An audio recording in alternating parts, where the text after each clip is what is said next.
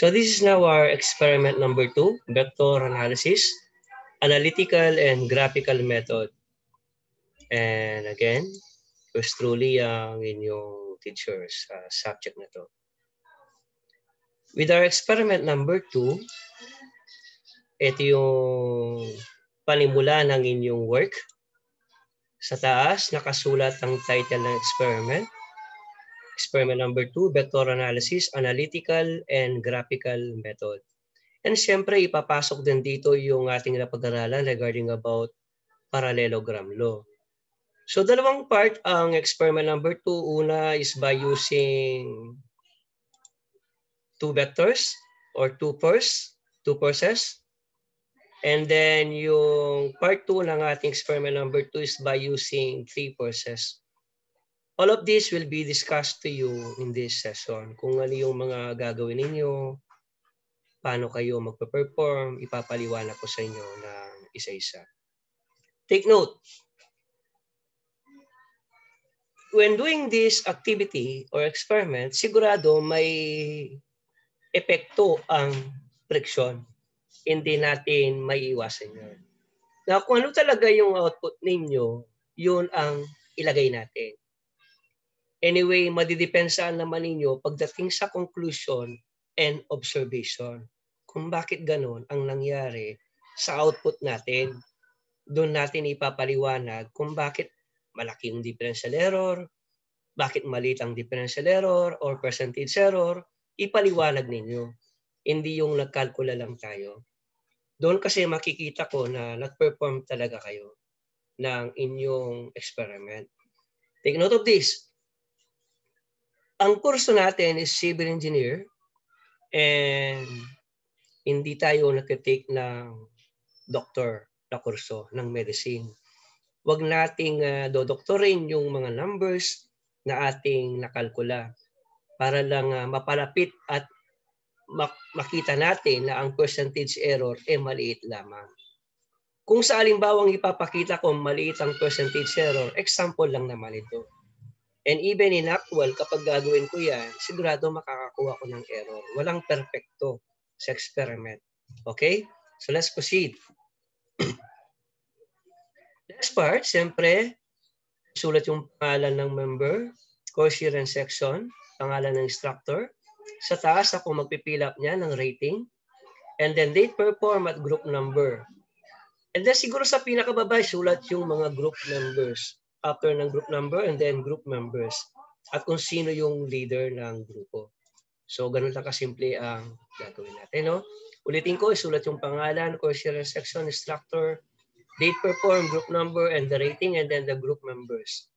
So, yan yung panimula at pambungad ng inyong experiment number 2. And this is our objective in this session, in this experiment.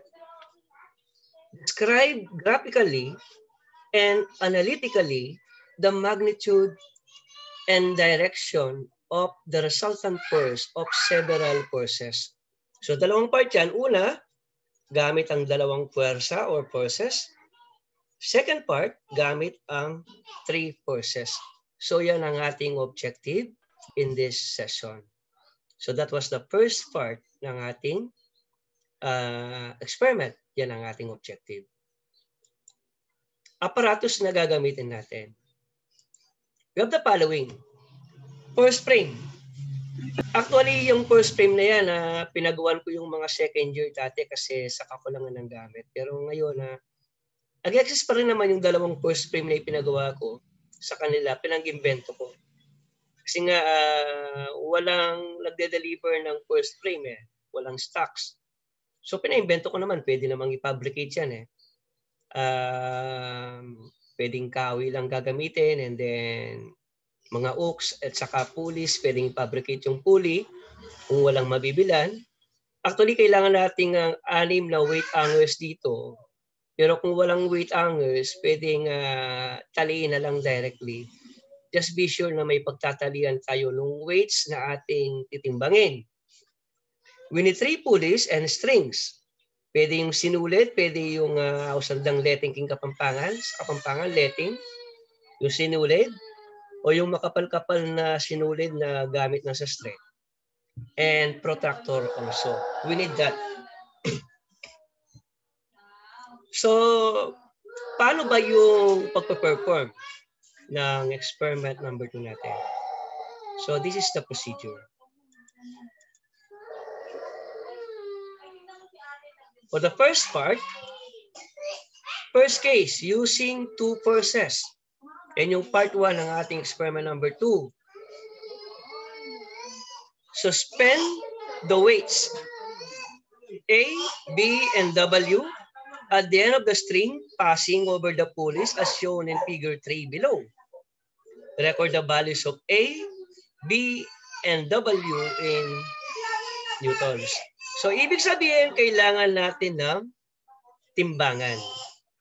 Titimbangin natin ang ating object A, object B, and object W para malaman natin yung weight ng bawat or mass ng bawat object na ating gagamitin. Take note, in terms of grams, halimbawa, naka-measure ka, naka-weigh ka ng uh, object A, na measure mo, let's say 180 grams, 200 grams, pwede. Huwag niyo lang palalampis wala, wag niyo lang palalampasan ng uh, tig isang kilo no, mabigat-bigat na 'yon. Uh, gramo lang ang ating pag-usapan. So say, uh, it's up to you kung ano yung weight na gusto niyo Sa weight B, ganun din. And W in newtons also. So tatlong object ang kailangan natin. Yung W will serve as your resultant force. So we need three objects. And how do we do this? So una, ito yung mga weights natin na iniram ko sa laboratory. Pinicturean ko lang para original naman yung picture. And then ito yung inassemble namin ng mga CE second year before. Ito yung mga pulley na yan, kinalas ko lang yung inclined plane para hindi na ako mag-fabricate. Nasa inclined plane yan, yung pulley na to, yung isa, at saka yung isang pulley. Sa two forces, kailangan lang natin ng dalawang pulley, pero kapag three forces, kailangan natin ng three pulleys. Eh dito dalawa lang. So suspend ko yung tatlong weights ng ganyan lang forma. Yan. 1, 2, 3. Yung gitna, ito yung weight W. Ito yung weight A. Ito yung weight B. Ito yung mass A or object A, object B, and the object W. Titimbangin natin pareho yung mga yan. And then, i-record natin yung mga masses nila in terms of grams. Can you follow? Nakakasunod ba kayo? Now, yes, sir. lang natin yung tatlong yan gamit ang sinulid. Okay? Ganyan yung formation. Nakaang. And then dito, magdodraw, maglalagay tayo ng horizontal na tansi. Perfect horizontal dapat yan. Nang hindi tumatama, actually magkakalayo yung sinulid na yan, o may distansya yan. Nang hindi dumidikit sa weights at saka sa strings. Okay? Magkalayo ng konti yung uh, at least may distance kahit sentimetro lang. Kahit kalahating sentimetro lang. Or 3 mm lang, pwede na. Basta hindi naapektuhan yung galaw ng ating mga strings. Then next, ano yung gagawin? Kailangan natin ng weighing scale bago natin iyang yung tatlo, no? Bago natin iyang yung mga yan o suspend kailangan alam na natin yung mga weights nila, yung mga masses nila. Titimbangin natin ang mga yan. And then, i-record yung timbang. Mas maganda kung pati yung decimal nakikita natin kung weighing scale. Oh. Yung pang kilo ng manok, ng baboy, pwede yun. Pero kung wala, pagtsaga na natin yung pang kilo ng bigas na ginagamit natin, yung mga yan. And sa school nga, minsan, kung wala talaga eh, platform balance or triple beam balance or double beam balance ang ginagamit natin uh, sa pag-weigh ng mga masses. By using weighing scale, determine the mass of the vector A. Oh, nag-double yung up, no? Vector B and the resultant force W. Yung resultant force W, yun yung pinakagitna. Yun yung experimental value ng ating W. Next. Para mas maayos yung figure, kinuha ko to sa aking lab manual na nag-author ako before. Original pa rin. Sa akin lang galing itong figure na yan, yung drawing na yan. So vector A, vector W, and vector B. Vector W is a resultant first. So what do we do next? After na malaman na natin ang mga values ng mga masses na talong yan, titimbangin natin in terms of grams. Ang mass A, na-measure ko siya ng 157 grams. Kinonvert ko into kilogram na 0.157 kilogram. And then kinonvert ko into Newton. Anong gagawin ko para ma-convert ng Newton? I-multiply ko lang yan ng 9.81 meter per second square. I'll just multiply it by 9.81 meter per second square ang value ng gravitational acceleration natin. Okay? Gravitational force acceleration. 0.157 kilogram to be multiplied by 9.81 meter per second square. Kasi ang katumbas ng Newton is kilogram dash meter per second square. And then, mineasure ko rin ang B, nakakuha ko ng 155 grams, kinonvert ko into Newton, 1.52055 newtons. And then, yung W, kinonvert ko rin ng grams, from grams to Newton. So, 295 grams naging Newton. After kong minultiply ito ng 9.81 ang kanyang kilogram version. So, 295 grams, divide ko ng 1,000, we will have 0.295 kilogram multiply ko ng 9.81 meter per second square, then we will have the unit of Newton. So yun yung mga i-record natin yung A, B, and W in terms of newtons. Pilakita ko lang yung calculation. Then afterward, anong gagawin na susunod? Sa portion na to, dito kailangan hindi pasmado ang inyong mga kamay. Hindi nanginginig yan. Kasi gamit ang protractor, Using your protractor, measure and record the angles theta and beta. Ito yung zero natin. No? Susukatin ninyo yan at saka yun. Gamit ang protractor. Dapat hindi natatamaan yung mga tanse, yung mga weights, hindi gumagalaw, and then successfully ma-read ninyo yung beta at ang theta. Kung yung nakuha ninyo, yun na yung input ninyo. Yan. I-measure ninyo yan. Ito, ito, at saka iyon. Yan. Yan yung uh, inimbento ng mga second year. Kaya lang yung mga pulley, mataas ang friction. Eh. Ngayon, suggestion ko sa pulley, lagyan nyo ng grasa or oil para dumulas ng konti, para mabawasan yung effect ng friction. Okay? Uh, wala namang perfect dyan. Experiment natin yan and hindi natin mapaperfect yan.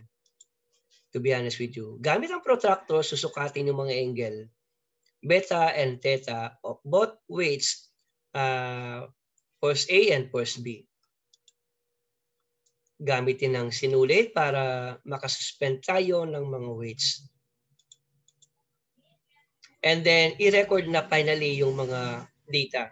Vector A Newton, vector B Newton, resultant force W in Newton, yan ang experimental value natin. Angle theta and angle beta. And then, ayun yung mga recorded values natin. In this situation, ang na-record kong beta is 70 degrees and theta is 70, 72 degrees. So, ito yung experimental natin, yung weight. Mamaya, madadagdagan lang niya ng A, B, and C madadagdagan pa ng isang angle. Pero yung itinuro ko sa inyo sa analytical method na calculation, na paghahanap ng resultant portion ang gagamitin ninyo, at saka sa parallelogram law, pati yung graphical. Okay. Step 3. Using the forces A and B, determine the resultant graphically by using parallelogram method. Magdodrawing kayo ng parallelogram na itinuro ko sa inyo last time, and then mag-scale kayo. How is that? Determine also the resultant force by using the law of cosines and law of sine.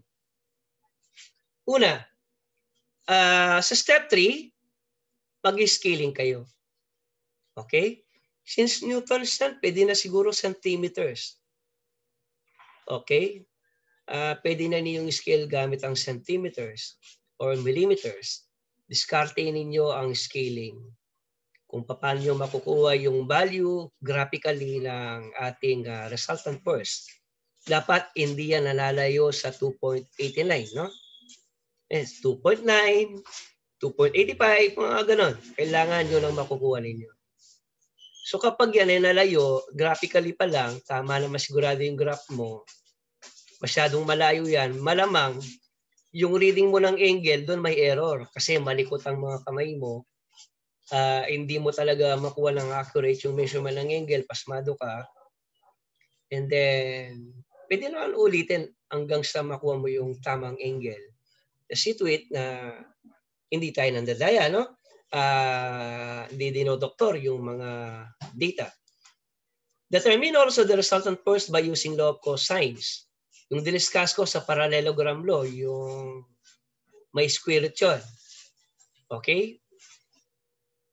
Resultant first W by experiment, ito yung nakuha natin kanina. Renound up ko lang, 2.894. By parallelogram method or graphical, ang nakuha natin is 2.9. And then by calculation ng ating true value, ang nahanap natin is 2.89. 2.89. Yan ang ating graphical na nakuha. Okay?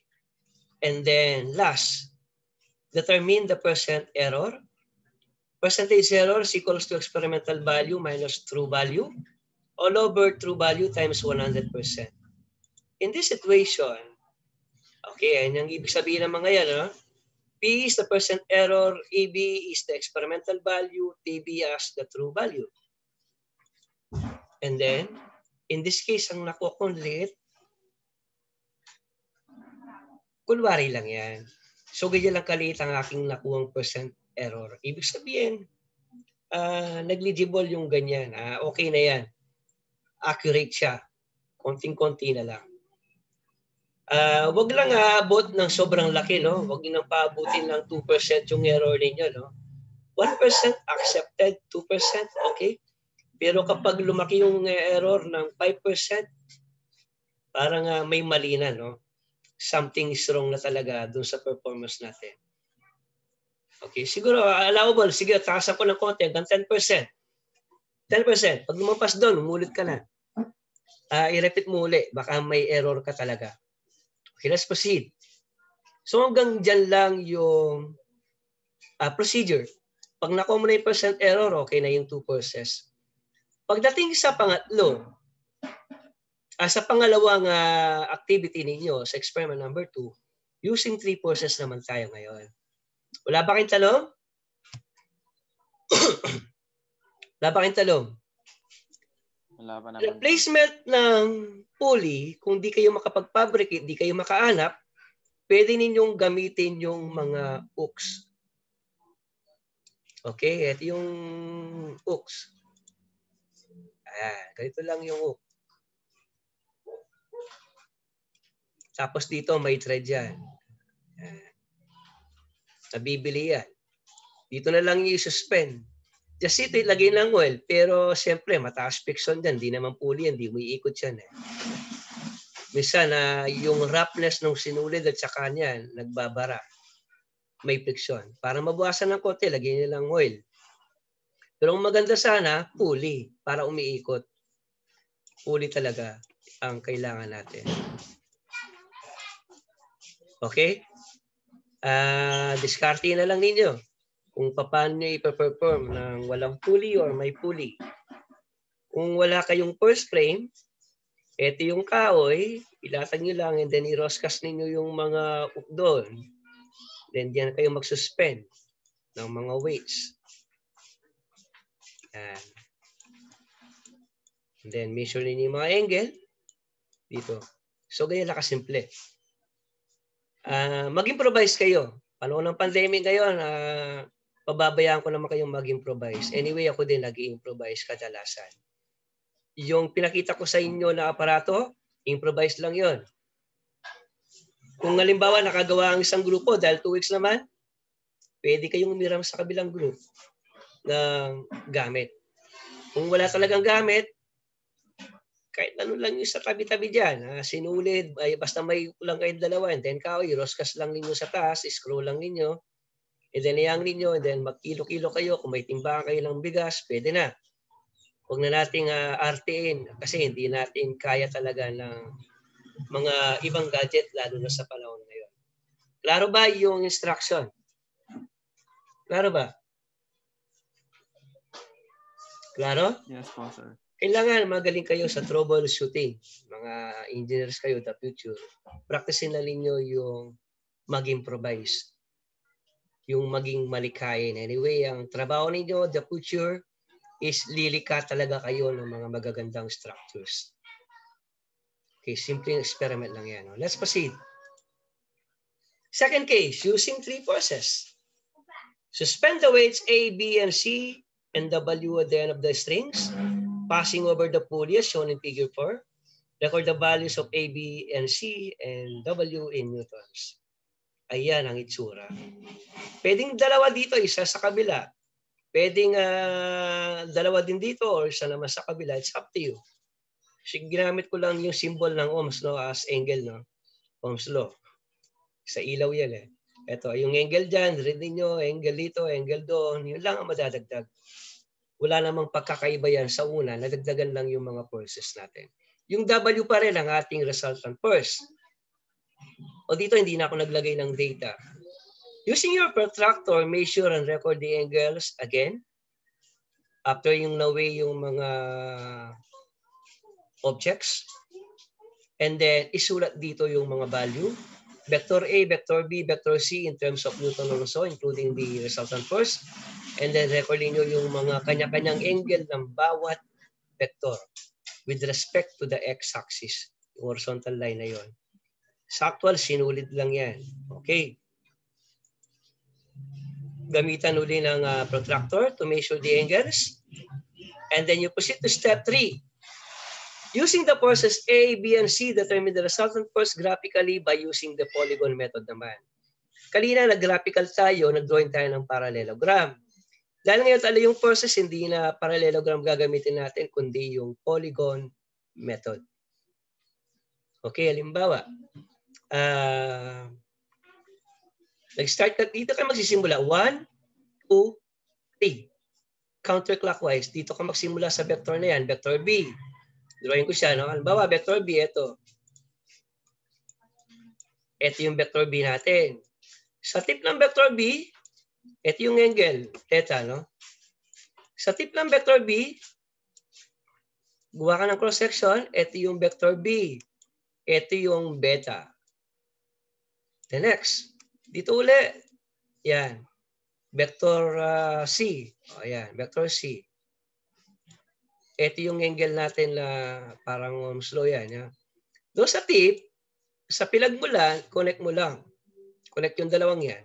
And then, sukatin ninyo yung line na yan, yung connection. Doon sa dulo, from the origin, yun ang ating resultant force graphical. Just see to it, naka-scale. Halimbawa, vector mo, uh, 100 Newton pwede mong uh, i-conclude na yung 100 Newton per 1 Newton is 1 mm. Ganun lang kasimple. Okay? Bawa, nakuha mo 5 Newton. 5 cm, pwede na yon. 1 cm is to 1 Newton. Okay din yung scaling na yon. And then afterward, ito naman ang inyong susukatin gamit ang scale na inyong ginamit para makakuha tayo ng graphical value. And then, yung resultant force naman na experimental, given na, ito na yon. Ito yung experimental natin. Ito yung experimental value. Okay? The next. Using the forces A, B, and C, determine the resultant force graphically by using the polygon method. D. Determine also the resultant force using the component method.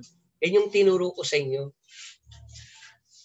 Huwag na kayong pagparallelogram uh, method dyan mag-resultant course using the component na tayo, yung may x and y components, and then solving yung summation fx, summation fy, the resultant.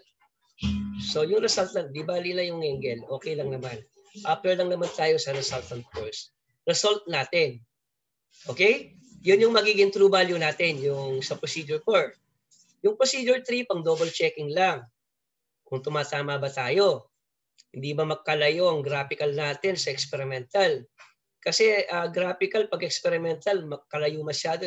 Ibig sabihin there's something wrong now with your performance kung paano mo winay at sinukatan yung mga angles. doon mo makikita na ang laki ng effect ng friction. Okay? Step 5. I-record mo yung mga data. Experimental value, yun yung value ng weight, yung tinimbang natin. Polygon method, ito yung graphical. And then component method, ito yung analytical method natin. Yun ang consider nating true value. And then last step, determine the percent error. Same formula. Actually, may ibang paraan pa ng paperform ng vector analysis and that can be done by using three spring balance or four spring balances. Okay?